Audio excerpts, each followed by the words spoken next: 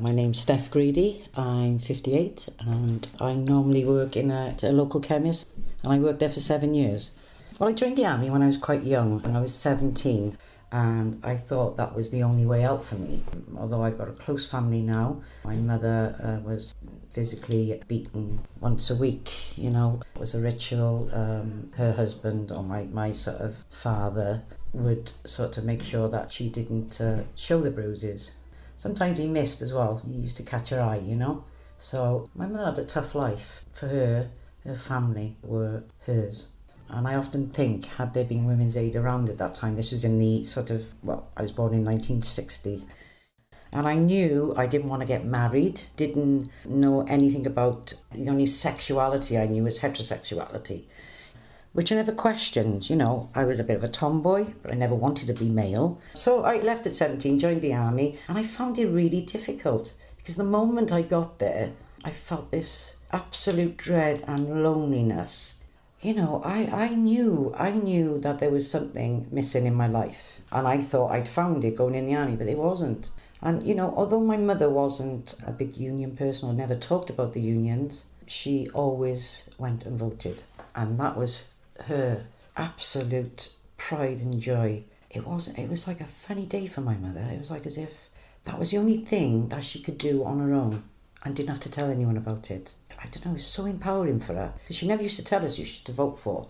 But I could guess from Splott's, you know. and, uh, I thought I was going to break. And then I went to a place called Middle Wallop. Just so happened we had to stop off at Greenham for a couple of days, which is the American Air Base. And I saw, saw this flag and it was a red dragon flag, you know. And I said to this guy, I said, uh, what's going on over there? You know, he goes, oh, um, lesbians, you know, they all want to be filthy and dirty together. So I started trying to find out about it and I realised then what, it, what they were doing. And then I was absolutely amazed that they came from Cardiff and Wales, that the walk was from here. So I just started looking into it. I cried.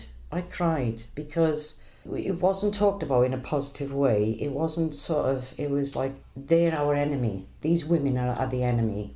I thought I got to get out, and they told me I had to give 18 months' notice. I couldn't politicise it. I hadn't read any books or anything like that, you know. And then I became a bus driver, and then I thought I can join a union. And oh God, I think the day I became a bus driver, my life changed in lots of ways.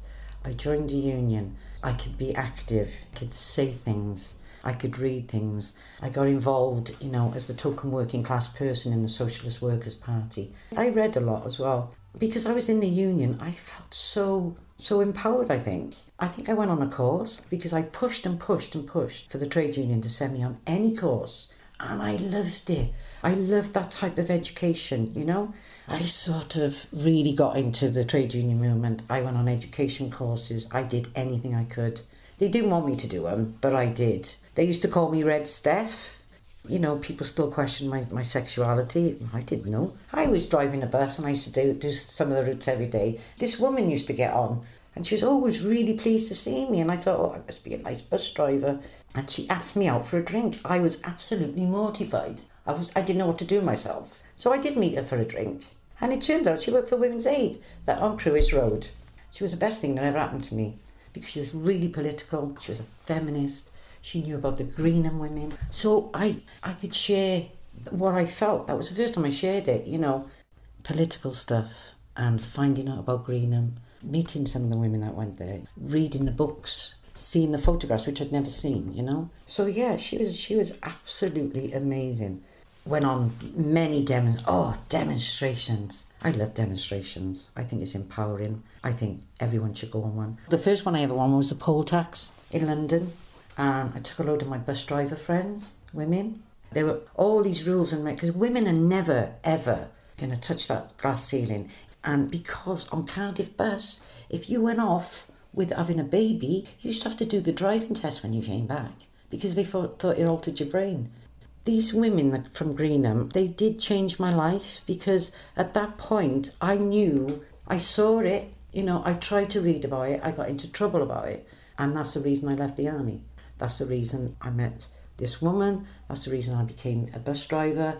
They were women, they were from Wales, and they were from, from where I live. where where were they? You know, when I was growing up, was my mother like that? Do you know what I mean? Would she have been like that if she didn't spend most of her life working and, and, and looking after children? So these women have empowered me in a way. I can be mobile with my thoughts and with, with what I've learned because of them. It was a big turning point in my life and I'll, I'll never forget that, you know.